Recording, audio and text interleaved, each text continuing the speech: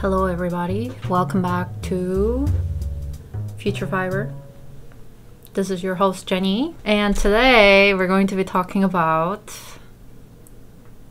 cable cardigans. Aran cardigan, to be specific. It is going to be fall soon if New York City gets the hint that it's supposed to be not 90 degrees, but unfortunately it is today, so I'm actually sweltering right now wearing the sweater. I didn't really want to make a big fall plans video because as I said, I don't even know what I'm going to be doing tomorrow, let alone like for the next couple of months. So I don't love to plan like blocks out because then I'm just setting myself up for disappointment. You know what I mean? That's kind of why I make these compilation videos around a certain like particular garment that I want to knit because um, then it's a little bit more focused and I can apply it and I'm actually going to knit something from that list. You get what I'm saying? I know a cable cardigan for the fall and winter is not very revolutionary, but I'm a fairly new knitter. I think people get that. I felt like I was up for a challenge. I decided to give a cable cardigan a go. So uh, my list is very short today, and that's because I have a pretty decent idea of what I want to be knitting, and it's basically a reproduction of this. Well, not exactly. Let's I'll talk about that, okay? This sweater, this is not made by me. I got this on eBay recently because I've been on the lookout. I know I'm supposed to be, you know, on a no buy and I did really well this entire year until this week when I found this sweater come up on eBay. I think the history of it is a little bit interesting. So this sweater, this uh, Aran cardigan is from a brand called Hallim Handweavers. And this brand is a sweater slash wool company that was in production from, I believe, uh, 1950s, 60s to 2005. They were based out of Jeju Island, which is like to the south of Korea. Korea doesn't have a strong history of knitting before like 1900s as you know they started getting more western commerce coming in and out. They were more in the realm of like embroidery and wovens rather than like woolen like knitted items. Um, so this and you know the style is not traditional obviously to korea. So how did they have this brand that just like knitted and made sweaters? To talk about that we have to talk about the state of Korea a little bit in the 50s. So there was the Korean War. I don't know if you've ever heard of it. Because of that, and also we were, you know, Korea was coming out of a period of colonialization. So, uh, yeah, you can understand that they were not doing particularly well financially and economically. Particularly in Jeju, there was a Irish missionary group that came over and uh, was working with the local people there and they were trying to kind of figure out a way to provide jobs and support for the local women there. Being in an island, they either went to the mainland or they were having a hard time like finding things to do to make money. So the missionaries being Irish, they decided, why don't we teach them how to knit and uh, make processed wool items? So that's kind of how this brand came about um, Hallim Handweavers or Hallim Sujik. So they made a variety of like woolen items. So they made like plaid blankets um, and they also made Aran cardigans. There's been a revitalization effort of this brand in the past like two or three years. There's also a video documentary that they made around this whole um, effort that I'll link down below. It's only in Korean, but yeah, I'll link down the video below if you want more information about it. But I was just like really stoked to have this cardigan. I don't know how it made its way over to America, but I found it on eBay, shipped from Pennsylvania. So, you know, I kind of had to get it, you know, like it's like a part of history. That was a long winded way of me saying that I want to knit myself a cardigan similar to this style. I have a pretty clear idea of what I want. I don't want it to be a direct reproduction of what I'm wearing. First of all, I want the shoulders to be not raglan. So I want it to be not drop shoulder, but like a set-in sleeve. And I also want the diamond cable pattern running down the front on either side like this. So it doesn't have to be in the center. This is kind of off center as well here, but I want this kind of shape in the front, like so that it's like I have column on either side.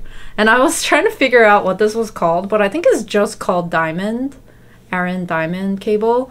So if you know of a more proper term, please leave it down below. And I want it to be a round neck. So this is round neck right now. So I want to keep that the same. I want, I don't want a v-neck cardigan um, in this style. I think the last thing is that I don't really want to do a like a ton of modifications to the pattern. I am okay with changing certain elements, but I don't know enough about like cable knitting or Aran knitting or yeah, anything like that. So I want to be able to follow the pattern as closely as possible which really limited my options to be honest. All those things you would think like, okay, well this style's been around for a while. Aran sweaters are nothing new, like fisherman style like sweaters, whatever. Like that's been done for hundreds and hundreds of years. I'm sure you could find something that's existing. But I don't know if my searching abilities are not as good as I thought or maybe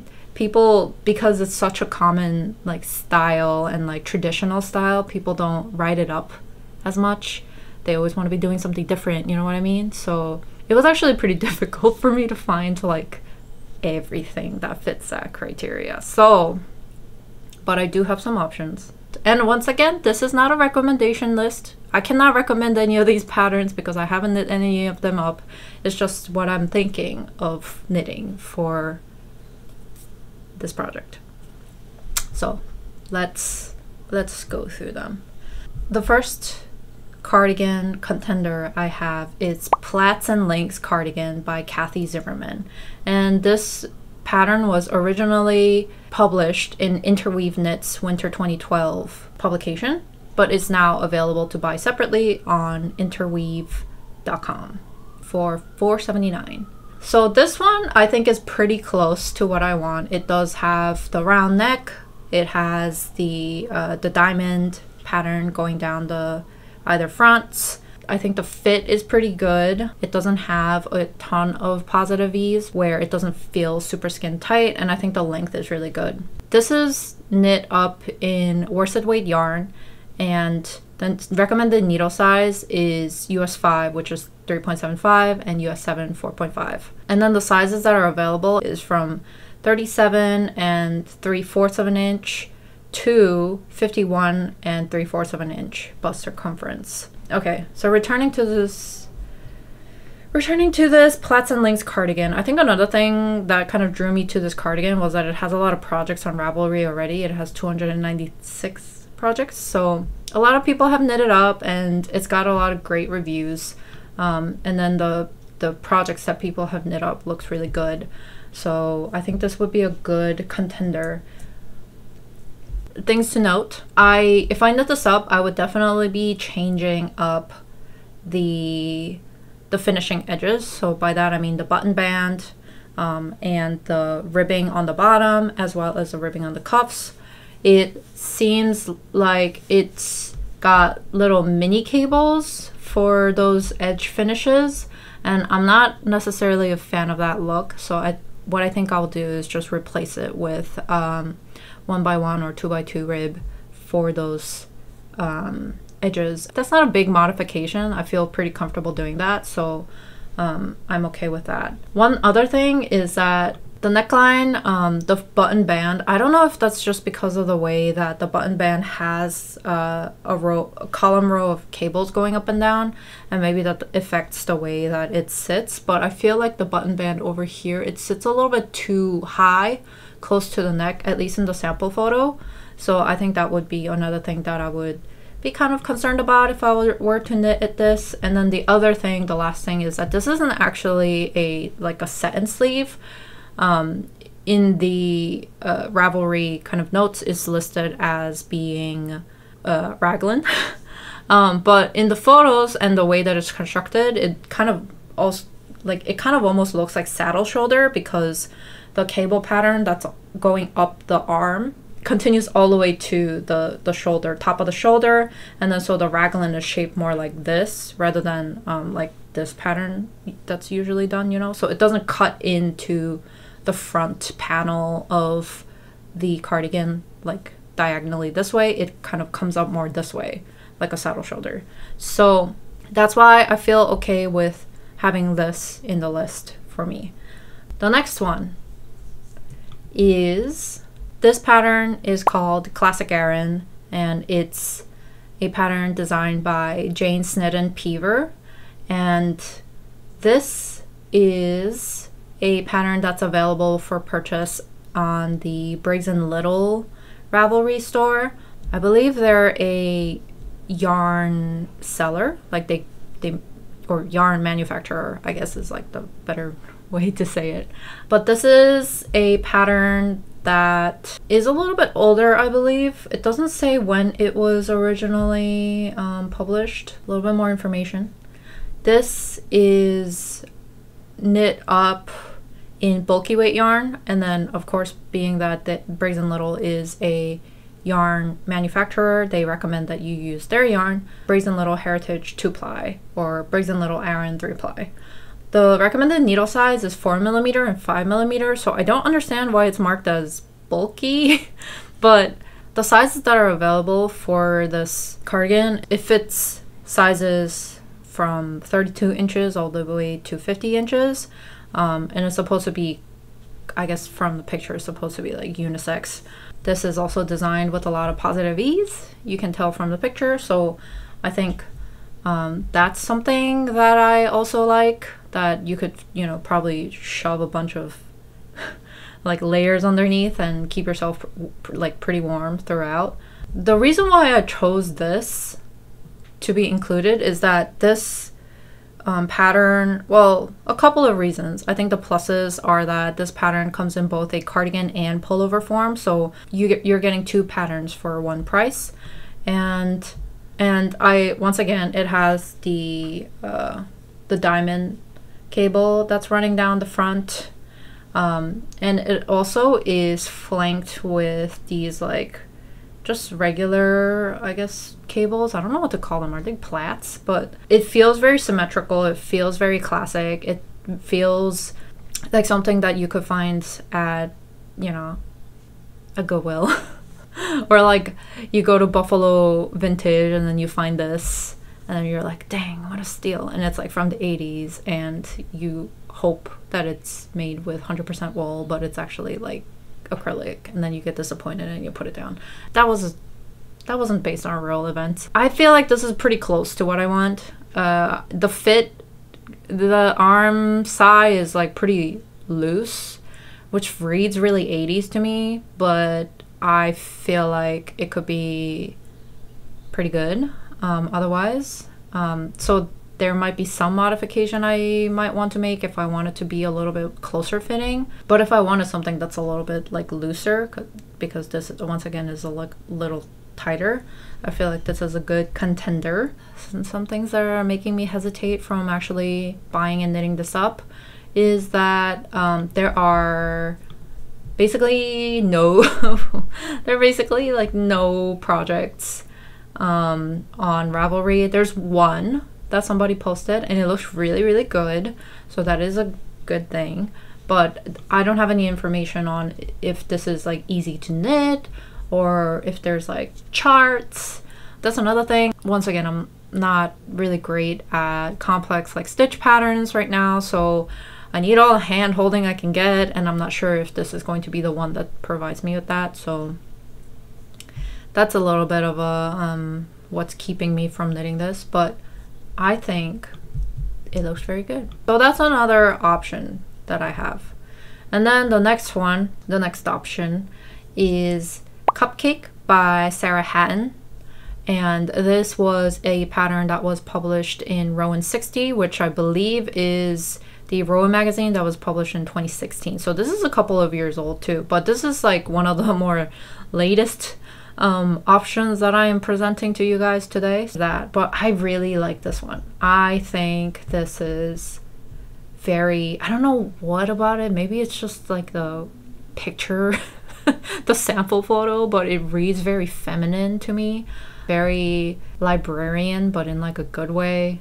Uh, yeah, I think it's really good. And um, once again, it does have the cable going down, the diamond cable going down the, the center kind of panels. Um, but it has an interesting um, cable that I'm not really sure what the name of it is, but it kind of looks like a U that's um, like linked together. doing a real good job of explaining these terms. I really like how the cardigan overall fits. It seems like it has just amount, just the right amount of ease. Um, and but I also like that the shoulders fit right on the the shoulder line. And it's not like super drop shoulder or super like small fitting or anything like that. So i feel like this will be a really good contender. Um, the cable pattern is a little bit different from some of the other ones that i've seen. I think it would be great if I could get a diamond cable that has these what is this moss stitch inside almost? I think that could be like that would be my ideal but this one is a little bit more like simplified form of that. It looks a little bit more modern a little bit more classic but modern and i like the yarn they used in the sample photo. Um, it's got like multicolor specks in it like almost like tweed and i feel like that makes it look really nice. Let's talk about some specs for this. The suggested yarn weight is worsted weight yarn, and then this is being a Rowan pattern, they recommend you use the Rowan yarn, which is Rowan Pure Wool Superwash Worsted. I personally want to do Superwash with this, this because I don't want it to stretch out super much, you know? So I think I would choose a different yarn that's a little bit more rustic. The needle size that's recommended is 4 millimeter and also 4.5 millimeter. Another thing with sizes. Once again, this is kind of smaller on the smaller side. This goes from um, size small to 2XL, which I I don't know why it doesn't say like what that fits. Oh, it fits chest 81 centimeters to 127 centimeters or 32 inches to 50 inches. Yeah, and this also has a couple of projects on Ravelry already, around 40, so I feel comfortable knitting this up, I feel like I could probably reference other people's notes and that'll be fun and good. But uh, uh, the downside of this pattern, I've hyped it up this much, but let's talk about why I might not be knitting this. I can't buy it online. I have to buy the Rowan magazine. Um, and I've managed to find it some places. And I think the Rowan um, website still sells it, but it's like $30, $35 on the Rowan website. And I have to like buy you have to pay shipping and all of that and there's other patterns in that book but none of them are really like it for me. None of them are really interesting to me. So this would be i would be buying that book only for this pattern and i don't know how i feel about that right now. Um, in this economy i don't know. But if i can find a copy for cheap i think i would definitely try and snag it because i even if i don't knit this right now this i feel like this is a really good pattern to kind of have in like the arsenal, you know, and knit it whenever I have the yarn for it. So that's the Cupcake by Sarah Hatton. I've kind of gone in the order of like things that I would like to knit. So these next two are like top, top contenders out of the five. Let's talk about Aran Cardigan by Gwyn Morgan. And this is this was published originally in traditional knitting patterns of Ireland, Scotland, and England, or traditional knitting in the British Isles. So those are actually the same books.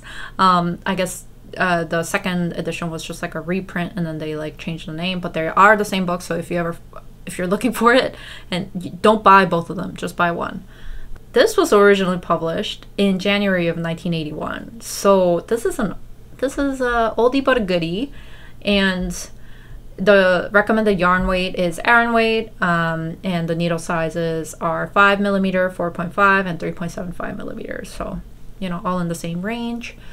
This has the smallest size range to to um, date to list whatever. Sizes are from 33 inches to 41 inch bust, so it is very small. Like this is like pretty much what I was imagining when I wanted when I said when I said that I wanted an Aran cardigan. This is like it. Uh, so that's a huge plus. Um, and I love all of the different. There's a couple of projects um, for this pattern on Ravelry already, and I love all of the different renditions that people have done. Uh, most of it is in cream, like a traditional like Aran sweater color, like natural wool.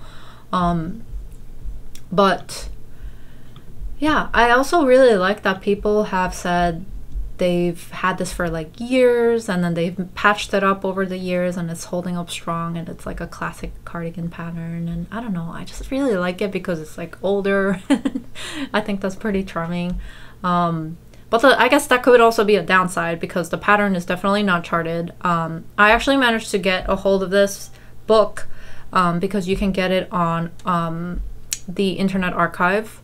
You can get the ebook version, like rent it um, from, I think, I don't exactly know how it works, but I'm pretty sure you can also get it from your local libraries, like through Libby or um, possibly through just like you know renting out the physical book and then like photocopying the pattern for yourself for your own use. But and then you can also get this pattern through just buying the book um, secondhand and I was looking at the prices and it's only like, you know, five, six dollars on thrift books so or eBay. So I think that's another great option for you if you wanted to have it in person. So this is a little bit more accessible than um, some of the other ones that I've um, found for vintage patterns. So I think this is a great option. What I would change about this is the bottom ribbing. Um, it's done in moss stitch but I think I would change the bottom or is that moss stitch or is that I don't know if they call it something else like Trinity stitch but I would um, change that to be just one by one ribbing so that's what I would do but that's pretty simple um, and I might uh, kind of shorten the cardigan by one pattern repeat I think the length is a little longer than what I would prefer so but that's that's it. I think this is like pretty much as close to what I want. Um, I think the neckline also looks really good. I don't love that it's knit in pieces, but I think all of the patterns that I've presented so far are knit in pieces bottom up. So, you know, that's the that's the name of the game when you're knitting these kind of things, I guess. So this one, very, very close. So that was uh, Aran Cardigan by Gwyn Morgan. The last one in this list, the final boy, this is the most recent pattern of all of them. All of the things that I've presented so far. This is Peated Whisky by Thea Coleman. And this was released in February of 2020. And you can purchase this pattern on Ravelry right now. Uh, so very accessible. The pattern yarn weight that's recommended is Aran weight. So that's going to be 5.5 millimeters to 5 and 5 millimeter needles. Um, this has the widest size range available so far. Um, the range is from 36.5 inches all the way to 69 inches, um, which is 92.75 centimeters to 175.25 centimeters around the bust. So size inclusive, A plus. I really like this one. This is also like very, very, very close to what I was imagining when I said I want an Aran cardigan or the cable cardigan. This is it, like pretty much. Um, I love that it has afterthought pockets that you could choose to uh, knit or omit that fit the pattern of the sweater. That's delightful. And I think the fit is really good throughout the garment. It has a little bit of, you know, positive ease in the body and then the arms slightly drop shouldered. I love that this is a more modern pattern, so I'm thinking it'll kind of like handhold you a little bit more than the other ones, where the like the the more vintage ones tend to kind of like throw you into the um, into the fray, and it's like you'll figure it out. Um, but yeah, so that's another positive for me placing this on the top. The only thing I will say that is kind of making me hesitate, well, there's two things. One thing is in the sample photo, the neckline looks a little bit wide. um, where it almost kind of starts to look a little boat necky, and I don't love boat neck um, cardigans, but I think that could be easily corrected. And in some of the other projects, uh, there's uh, plenty of projects for this pattern as well, so that's also another plus. But in other projects, the neckline doesn't seem as wide, so I don't know if that's like something that happened just because of the wool that they used or whatever, but that's something to, you know, keep in mind for myself. And then the other thing is that the diamond cable is it's I don't know what this pattern is called, but it kind of is like a double diamond where it kind of trellises up like interwoven. These two diamonds are like kind of stacked like this versus like a straight column of them which isn't a big deal, I feel like. But I don't know, like I was imagining just having the straight diamonds, but I also feel like that's something that I could possibly change. Um, so, or I could just knit it up. It's like not a big deal, you know? So I feel like that is kind of negligible, but this is super close to what I was thinking. Uh, these are the five that I found. I'm sure there's more, and you're gonna be like, girl, if you're gonna be this picky, you should just like design your own. Or whatever, or just like figure out how to knit better. But yeah, I get it, but also like I don't have the brain space for that. I would love to just follow a pattern, which is why I did this um, whole rabbit hole search for Aran cardigans. But yeah, I'm excited to start on a project. Oh, I can. I guess I can also talk about the yarn I'm going to be using. So I'm going to be using this yarn. I think this is um, Debbie Bliss. De, de, I think this is Debbie Bliss Cashmerino. I'll leave the exact details. Like I'll put it up here and also on the description down below. But this is a yarn that I. but this is a yarn that I kind of harvested from an existing sweater that I had um, made it, I unraveled a sweater. There's a YouTube shorts about it that you can go watch. But I've been thinking like what I what do I want to do with this yarn, and I feel like this kind of like cable cardigan is like what I want.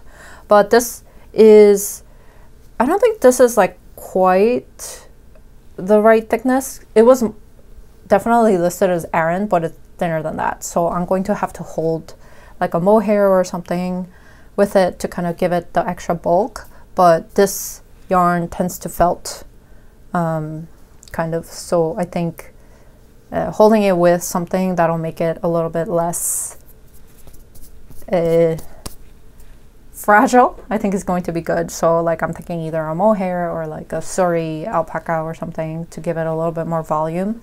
So that's my plan. As a wrap up, really excited to have this cardigan in my wardrobe. It's so itchy, but I'm not going to get rid of it. Uh, it feels really sturdy, and I'm pretty sure this was like knit in like the 70s based on like some of the patterns or the labels that I've seen. So I have this cardigan. I have reasons to believe that this is hand knit and not uh, machine knit, but um, maybe we could have a discussion around that. and I'm excited to start knitting my own cable cardigan. Aran cardigan. So you can watch me struggle through that by subscribing to the channel and then watching my regularly scheduled podcast episodes where I talk about all the struggles I face on a bi weekly basis. So hopefully you found this interesting. Let me know if you've knit any of these five patterns that I uh, presented. And if you have any other suggestions of other patterns that fit my criteria, please let me know because I I looked through Ravelry up and down, sideways, uh, inside out, and I couldn't find any more. So let me know. Hope you guys are having a great whatever day, time, whatever it is that you're watching this video, and I'll catch you guys next time. See you guys later. Goodbye.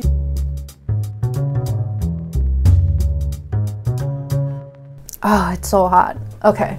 And I had a lot of things that were like close but not like close but no dice, you know what I mean? I'll have a separate Ravelry bundle for all the ones that I thought were nice but wasn't quite it.